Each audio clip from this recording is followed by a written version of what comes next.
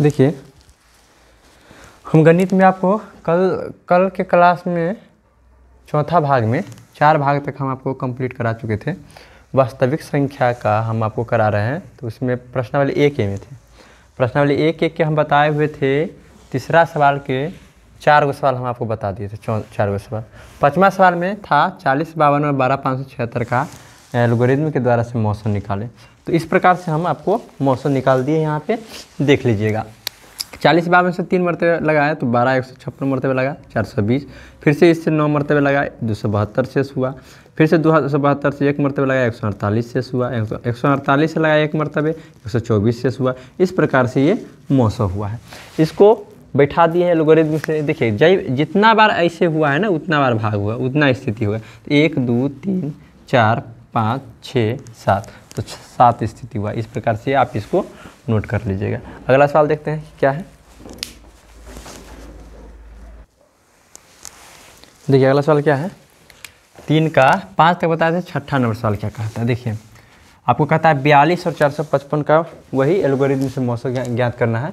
तो बयालीस से हम भाग दे देंगे चार सौ पचपन में। तो बयालीस से चार सौ पचपन में यदि आप भाग देते हैं तो बयालीस से तो चार में नहीं लगाइएगा, पैंतालीस में लगाना होगा आप पूरा में नहीं लगाइएगा।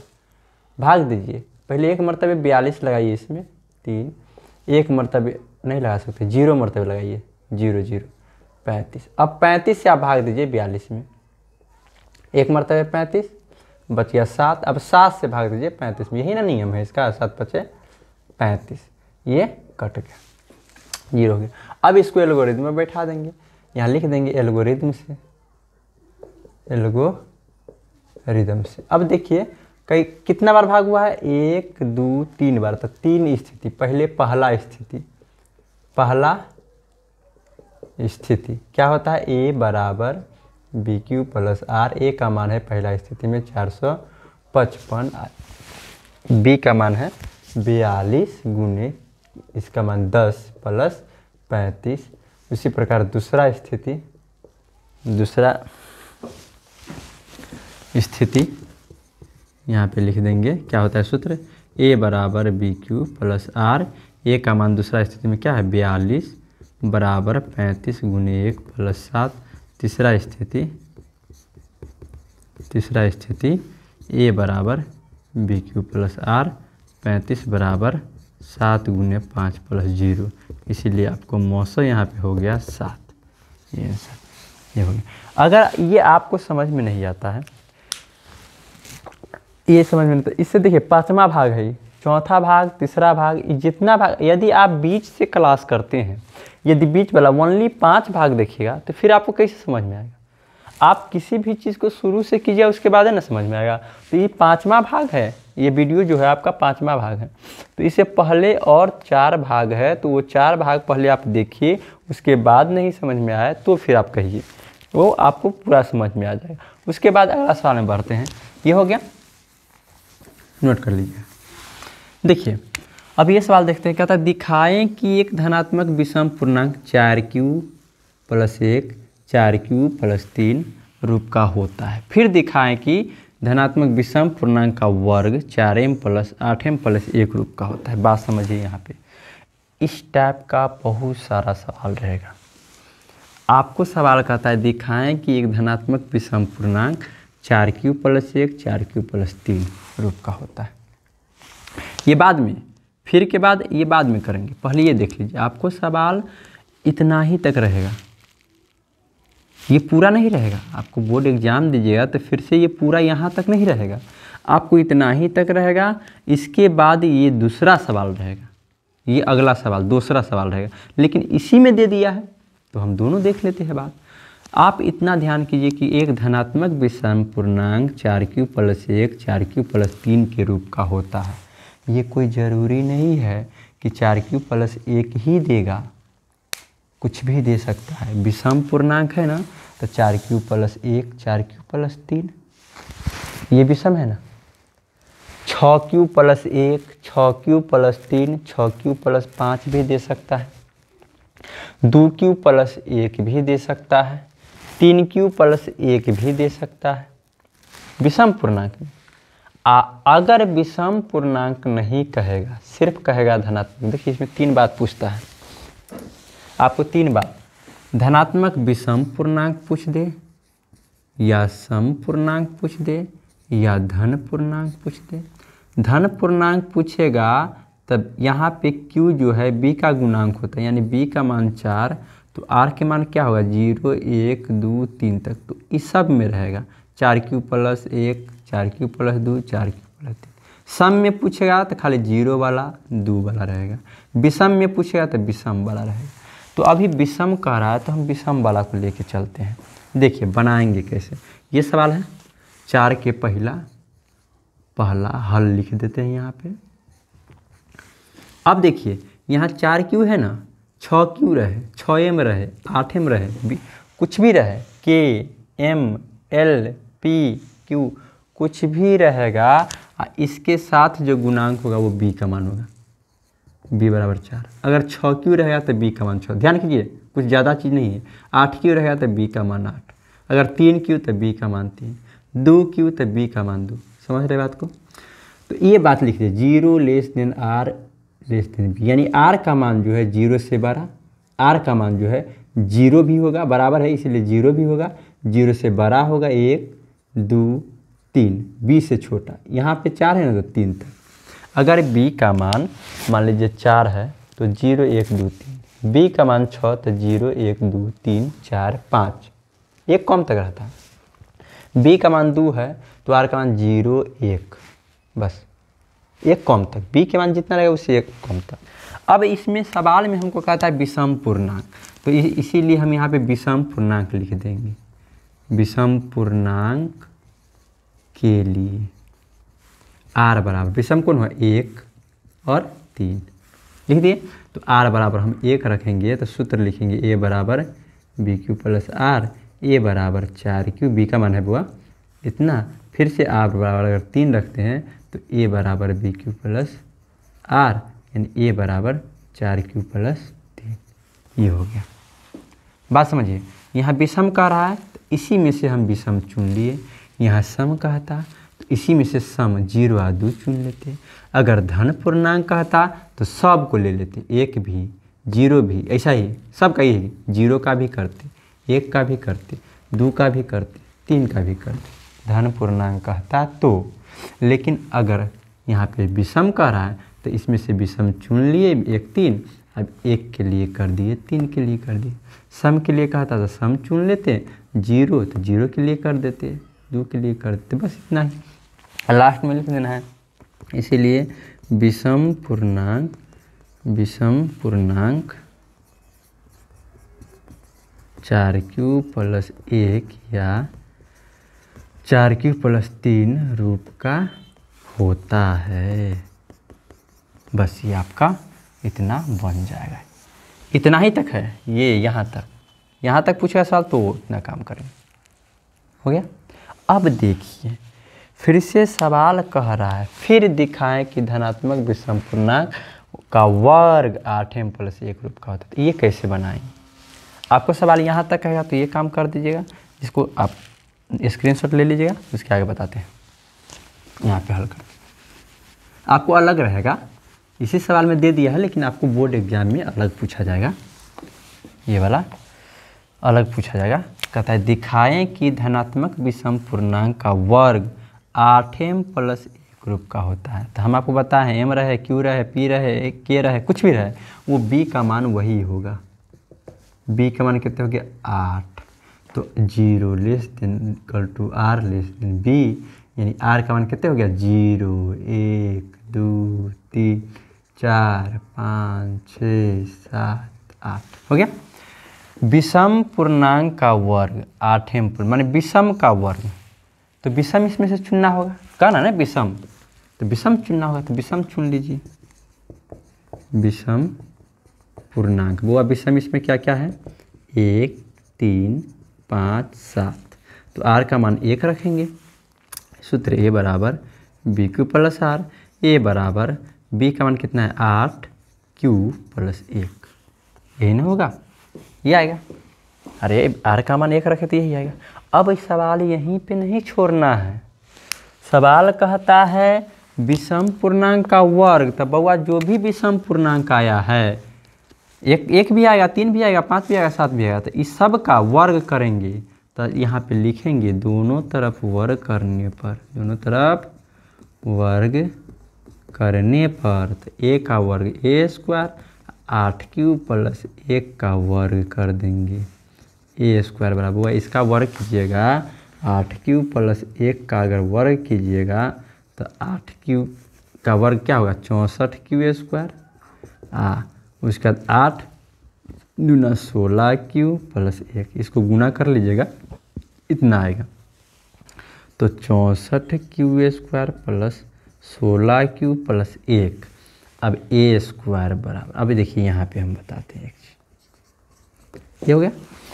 आठ क्यू प्लस एक को आठ क्यू प्लस एक से गुना किए हैं, यहाँ पे ऐसे कर कर सकते हैं। आठ क्यू प्लस एक इंटू आठ क्यू प्लस एक। आठ क्यू अगर यहाँ छोड़ते हैं आप तो बच जाता है आठ क्यू प्लस एक, फिर से प्लस एक छोड़ते हैं तो आठ क्यू प्लस एक गुना कीजिए तो आठ को आठ से कीजिए तो कितना होगा? चौंसठ। आठ को एक से गुना कीजिए तो आठ क्यू फिर से एक को आठ से कीजिए तो आठ क्यू एक को एक से कीजिए एक। उसका क्या होगा? चौंसठ क्यू स्क्वायर प्लस आठ आठ, सोलह क्यू प्लस एक, ये आ गया। इसको यहाँ पे उतार देंगे। इसको? अब देखिए, अब इतना आ गया। अब हमको सवाल का था आठ एम रूप में लाने के लिए। तो आठ एम तो इसमें से हमको आठ कॉमन लेना है। चार एम के रूप में कहा तो चार कॉमन ले लेना है। दो एम के रूप में कहा तो यहाँ पे दो कॉमन ले लेना है। यानी यहाँ जितना कहेगा लाने के लिए, उतना ही कॉमन लेंगे। आपको जहाँ जाना रहेगा, उसी रास्ता में जाइएगा, कि पीछे होकर दूसरा रास्ता में जाइएगा। तो हमको आठ लेना है तो इसमें आठ कॉमन ले लेंगे। आठ कॉमन लिए तो इसमें बच गया आठ मरतबे। आ, इसमें दो मरतबे। एक तो बेचारा अलग है। मान लेंगे, जो भी कोष्ट में है, उसको एम के रूप में लाए तो एम मान लेंगे। इसीलिए, इधर आ जाते हैं। इसीलिए ए स्क्वायर बराबर आठ एम प्लस एक। अतः विषम पूर्णांक का वर्ग आठ एम प्लस एक रूप का होता है। इतना इसका स्क्रीन शॉट स्क्रीन शॉट मार लीजिएगा, आपको हो जाएगा। इसे आगे देखते हैं। अगला सवाल क्या कहता है? देखिए। दूसरा, दिखाएँ कि धन पूर्णांक का वर्ग चार एम प्लस दो या चार एम प्लस तीन रूप का होता है। अब देखिए यहाँ पे, इसको क्या करना है? अब यहाँ पे देखिए आप, दिखाएँ कि धन पूर्णांक धन पूर्णांक का वर्ग चार एम प्लस दो या चार एम प्लस तीन रूप का नहीं होता है। लेकिन होता है किस रूप का चार एम और चार एम प्लस एक। माने सवाल कह रहा है, ये सवाल मैंने इसी टाइप का रहेगा। चार एम प्लस दो या चार एम प्लस तीन रूप का नहीं होता। है तो आज चार एम प्लस चार एम और चार एम प्लस एक रूप का होता है। तो हम आपको बताए एम है फिर भी हल लिख देंगे। बी बराबर कितने हो जाएगा? चार। Zero less than R less than. B. R का मान कितने हो जाएगा ज़ीरो, एक, दो, तीन तक। बउआ ना इसमें सम कहता है, ना विषम कहता है, यानी मतलब सभी में दर्शाना है हमको, सभी को। तो आर का मान हम पहले ज़ीरो रख लेते हैं। तो ए बराबर बी क्यू प्लस आर। सम विषम नहीं कहता, इसलिए नहीं आर बराबर चुने ए बराबर चार क्यू प्लस ज़ीरो। ए बराबर चार क्यू। वर्ग कहता है, दोनों तरफ़ वर्ग कर देंगे। दोनों तरफ़ वर्ग करने पर। ए का वर्ग ए स्क्वायर। और चार क्यू का वर्ग कितना होता है? चार को चार से गुना कीजिए देखिए, चार एम के रूप में जाना है तो कॉमन कितने लेना होगा? चार, उसमें आठ एम था तो आठ कॉमन लिए ना? इसमें चार एम है तो चार कॉमन लेना हो तो ए स्क्वायर कॉमन ले लेंगे चार। कोष्ट में चार चौका सोलह। मानना क्या होगा? कोष्ट वाला जो भी होता है, वही मानते एम बराबर चार क्यू स्क्वायर। इसीलिए ए स्क्वायर बराबर चार एम। ये पूरा के जगह पर एम दे दिए, हो गया? अब ज़ीरो का दर्शा ली। अब हम दर्शा लेंगे किसको? एक को। आर बराबर एक। तो ए बराबर B Q plus R. A बराबर चार क्यू प्लस एक। दोनों तरफ़ वर्ग करेंगे। दोनों तरफ़ वर्ग करने पर ए स्क्वायर बराबर चार क्यू प्लस एक का स्क्वायर ए स्क्वायर बराबर, चार क्यू प्लस एक को इससे पहले वाला सवाल में हम गुना करके बताए थे। सोलह क्यू स्क्वायर प्लस आठ क्यू प्लस एक। अब देखिए, कॉमन कितना लेना है इसमें? चार। तो चार कॉमन लीजिएगा तो आपको आ जाएगा चार चौका सोलह, चार दूना आठ। प्लस एक बच गया। एम क्या मान लेना है? जो कोष्ट में रहता है, वही एम मानते हैं बुआ।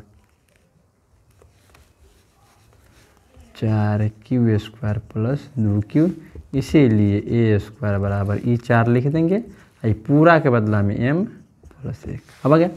अब इसी प्रकार दो को भी कीजिए ना तो इसके रूप का आएगा। तीन को कीजिए तो इसके रूप का आएगा। मतलब कि चार एम और चार एम प्लस दो एक रूप का आया, लेकिन चार एम प्लस दो और चार एम प्लस तीन रूप का नहीं आया। इसी प्रकार हम यहाँ पे लास्ट में लिख देंगे।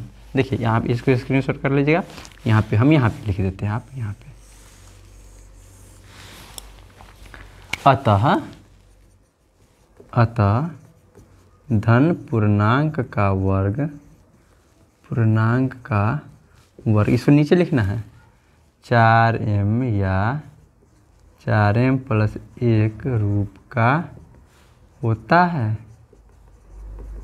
लेकिन चार एम प्लस दो होता है, लेकिन चार एम प्लस दो या चार एम प्लस तीन रूप का नहीं होता है।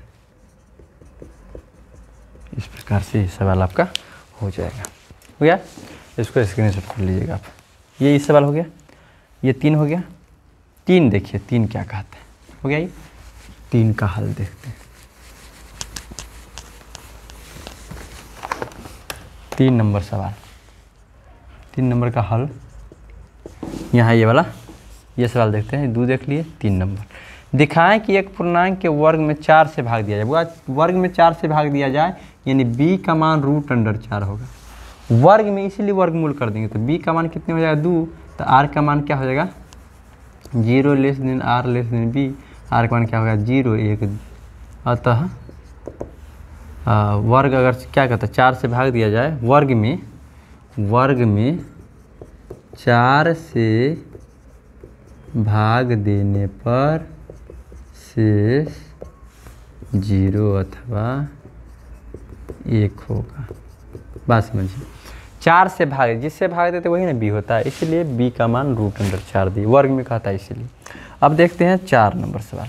सिद्ध करिए कोई धन पूर्णांक छः के यहाँ पे छः के छः के प्लस एक छः के प्लस दो या छः के प्लस तीन छः के प्लस चार छः के प्लस पाँच रूप का होता है ये सवाल कहता है तो उसको क्या करेंगे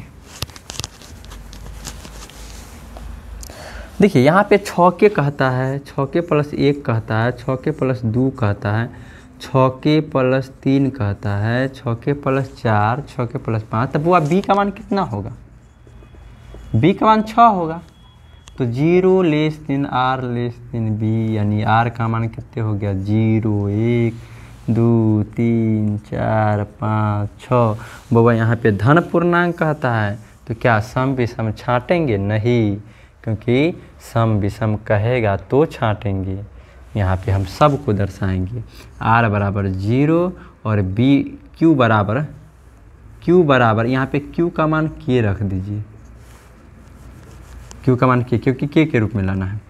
तो ए बराबर B Q plus R A बराबर छः के प्लस ज़ीरो ए बराबर छः के ज़ीरो का हो गया आर बराबर एक दर्शा दीजिए ए बराबर B Q plus R A बराबर छः के प्लस एक।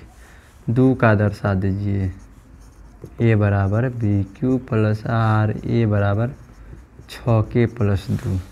अब क्या कीजिए? तीन का दर्शा दीजिए। ए बराबर B Q plus R A बराबर छः। बी का मान क्यू का मान के, आर का मान तीन। आर बराबर चार तो ए बराबर छः के प्लस चार होगा। आर बराबर पाँच तो ए बराबर छः के प्लस पाँच। छः नहीं होगा क्योंकि बी का मान पाँच थे। अतः धन पूर्णांक के या छः के प्लस एक या छः के प्लस दो या छः के प्लस तीन या छः के प्लस चार या छः के प्लस पाँच रूप का होता है। बस इस प्रकार से ये बन जाए। इसको स्क्रीनशॉट कर लेंगे।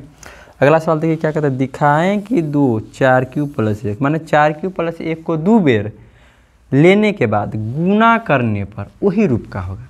माने चार क्यू प्लस एक को चार क्यू प्लस एक से गुना करेंगे तो फिर चारे क्यू प्लस एक आएगा। माने इसको इसी से गुना करने के बाद यही आएगा। सो सवाल कह रहा है, ये आपको लाना है। तो कीजिए जो सवाल कहता है। सवाल कहता है चार क्यू प्लस एक को चार क्यू प्लस एक से गुना करने के लिए तो कर देंगे, कोई दिक्कत नहीं है। आराम से हो जाएगा। यहाँ पे हम करते हैं, पचवा नंबर का हल करते हैं। सवाल प्रश्न से लिख देते हैं। ए बराबर सॉरी डायरेक्ट गुना कीजिए ना, चार क्यू प्लस एक को गुना करना किससे? चार क्यू प्लस एक से तो गुना कीजिए, चार क्यू छोड़िएगा इसको तो क्या होगा, नीचे कर ले क्या? चार क्यू छोड़िएगा तो ये पूरा होगा? चार क्यू प्लस एक एक छोड़िएगा तो ये पूरा होगा। अब चार चौका सोलह क्यू स्क्वायर प्लस चार क्यू, फिर से एक को चार क्यू तो चार क्यू प्लस एक, सोलह क्यू स्क्वायर, चार चार, आठ क्यू प्लस एक। अब देखिए बात यहाँ समझिए। आपको लाना है चार क्यू इहे के रूप में।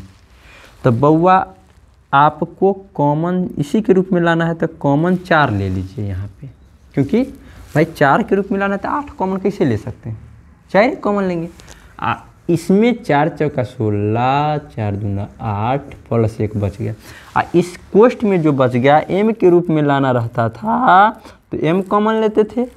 के के रूप में तो के कॉमन लेते थे लेकिन यहाँ क्यूए के रूप में लाना है इसीलिए मानना पड़ेगा यहाँ पे जो भी कोष्ट में है उसको क्यू ही मान लेंगे। इसीलिए चार आई पूरा के बदले में क्यू प्लस एक अतः चार क्यू प्लस एक को दो बार गुना करने पर, गुना करने पर चार क्यू प्लस एक रूप का होता है। होता है कि नहीं? प्रकार से। इस प्रकार से आपका एक एक, इसको स्क्रीन शॉट कर लीजिएगा। इस प्रकार से आपका एक एक के चैप्टर पूरा ख़त्म हो गया। भाग पाँच, गणित का भाग पाँच ख़त्म हो गया। अब आज तो नहीं हो पाया। कल से आपको विज्ञान का, विज्ञान में देखिए, विज्ञान आपका एन का विज्ञान है, उसमें शुरू में रसायन है, उसके बाद भौतिकी, उसके बाद जीव विज्ञान है। तो सबसे पहले हम क्या करेंगे? रसायन से पहला पार्ट से स्टार्ट करेंगे। कल से मैं वीडियो लेके आऊँगा। आपको कल से इसी चैनल पर आप आकर के अच्छे से तैयारी कर सकते हैं। पढ़ाई कीजिए, सही रहेगा। तो प्रश्नावली एक ये आपका कंप्लीट हो गया। अब एक बी एक बी पढ़ने से पहले कल हम देखेंगे एक बी के लिए क्या क्या ज़रूरत है हमको।